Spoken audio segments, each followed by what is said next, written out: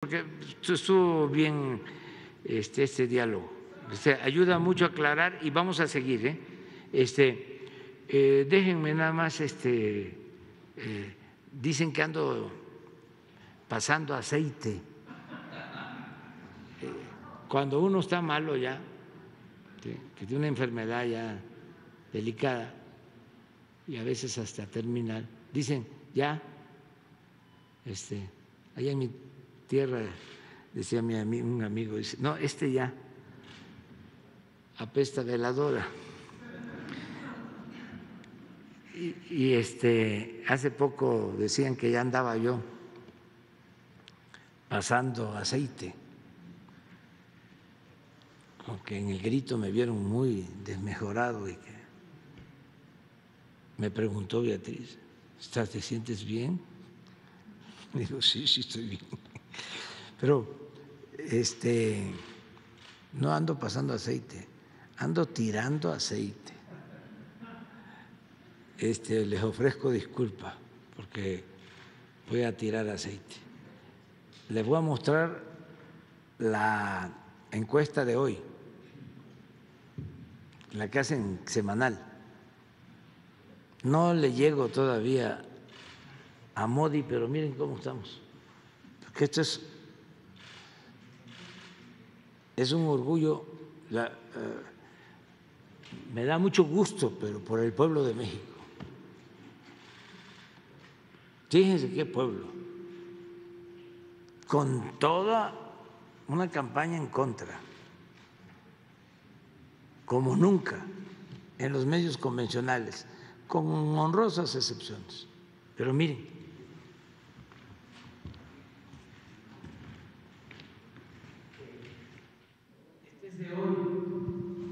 Modi está hasta arriba, 77 de aceptación, 19 en contra y 4 indeciso. Pero seguimos nosotros, 70 de aceptación, 24 en contra, 6 indecisos. Luego Australia, 58, 29. Este es eh, eh, el positivo, negativo, ¿no? De todos. El balance. Hasta aquí es positivo. O sea que es 1, 2, 3, 4, 5, 6. 6. Y aquí ya es negativo.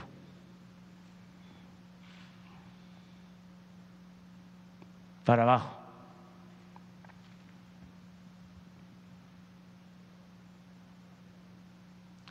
Y no es fácil ahora para los gobernantes. Una de las cosas que afecta mucho, por ejemplo, a los gobernantes europeos, es la inflación y eh, la falta de gas. Por el conflicto con Rusia, Ucrania.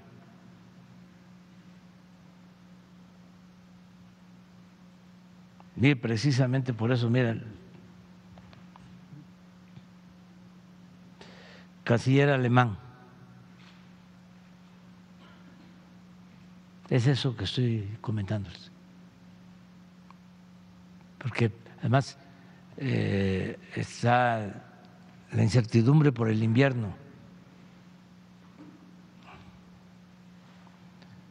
Y ellos eh, tenían un contrato con Rusia de abasto de gas y tenían plantas nucleares de generación de energía y tomaron la decisión de cerrarlas y se quedaron básicamente con el abasto de gas de Rusia. Entonces viene el conflicto, cierran la llave del gasoducto y están regresando al carbón y tienen problemas. Nosotros ahora que estuvo el presidente de Alemania, le planteamos que no por cuestiones comerciales, sino para apoyar, como lo hacemos con todos, podríamos este, enviar gas. Tenemos gas. ¿Mande? ¿Qué tanto por ciento de lo que necesita Alemania tendría de México? Pues como un 30%. Sí, nada más llevaría tiempo porque necesitamos la construcción de dos plantas de licuefacción para congelar el gas y mandarlo. Para, hay ahora ya una tecnología que tiene una empresa estadounidense, Fortress, con la que tenemos ya un acuerdo,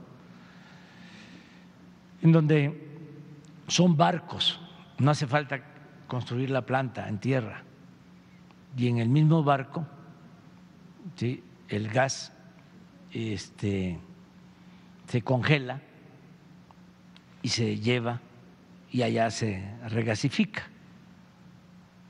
¿sí?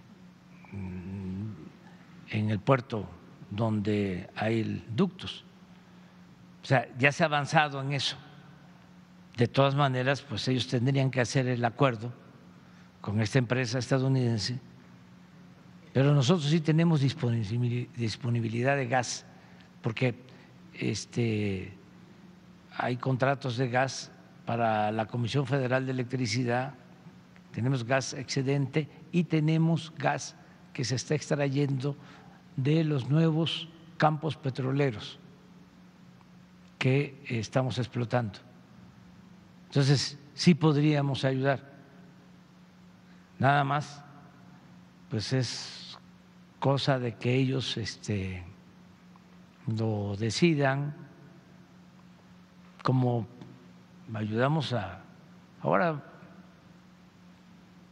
eh, desde ayer enviamos un grupo de técnicos de trabajadores electricistas a Cuba.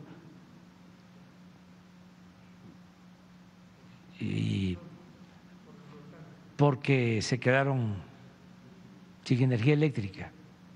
Entonces, tenemos que llevar a la práctica la fraternidad universal, ayudarnos mutuamente. Bueno, ahora sí, a desayunar. Adiós, adiós.